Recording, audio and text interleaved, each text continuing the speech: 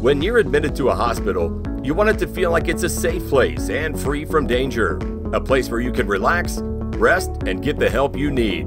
But fires do not discriminate and can leave buildings and the people in them susceptible to harm. At Safe Hospital Services, our mission is to protect hospitals throughout the nation from fires.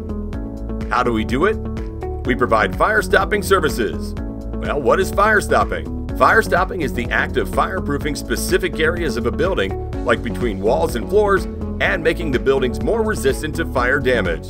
To date, we have provided fire stop projects for over 100 U.S. hospitals, a service that not only saves lives, but that reduces costs and decreases liability. From above ceiling inspections and remediation to fire stopping of construction joints, we'll keep you safe. Call the experts at Safe Hospital Services today at 281 362 1686 or visit us online at safehospitalservices.com.